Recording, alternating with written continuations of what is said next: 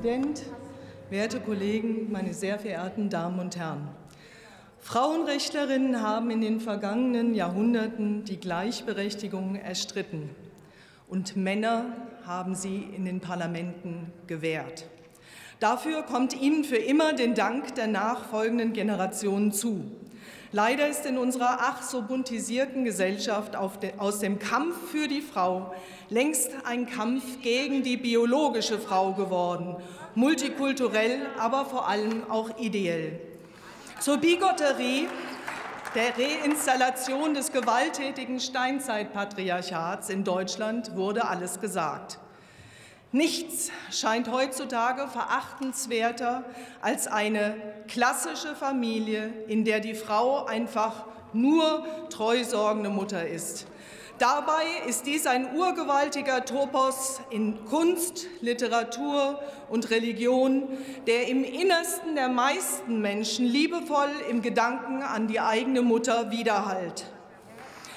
Für die schöne neue Welt der amtierenden Frauenrechtlerinnen muss das Bild der Mutter weichen, und zwar dem Bild von Frauen und anderen gebärfähigen Personen, die bei Schwangerschaft Körper, Körperflüssigkeiten oder Körperteile für mindestens neun Monate zur Verfügung stellen, wie gestern im Antrag der Linken unter großer Zustimmung von SPD und Grünen propagiert wurde.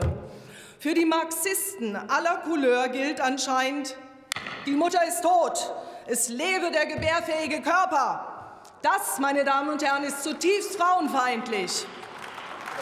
Frauen wohnt die Gnade innen, Leben schenken zu können und die tiefsten und innigsten Beziehungen und Bindungen stiften zu können, die es auf der Welt gibt, nämlich die zwischen Müttern und ihren Kindern.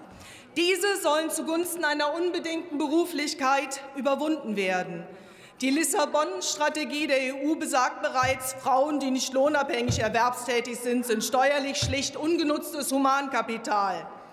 Wenn diese von ihrer eigenen Natur zutiefst entfremdeten Leute an der Macht bleiben, werden aus Frauen langfristig Körperteile und Körperflüssigkeiten mit Steuernummern immer dazu verdammt, mit Männern gleichgestellt werden zu müssen.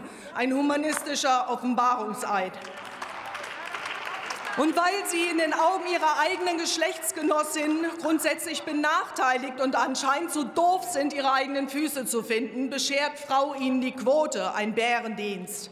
Aber auch die Quotendebatte und das Busenzählen sind virtuose Schattenboxkämpfe von Feministinnen, die spüren, dass ihre Zeit abgelaufen ist. Neue Werte konservative Frauenrechtlerinnen braucht das Land. Sie treten ein mit allem, was sie haben, für das Frauenrecht, nicht ständig mit Männern konkurrieren zu müssen und die Wahlfreiheit zu haben, ob sie erwerbstätig und oder Hausfrau und Mutter sein wollen. Vielen Dank.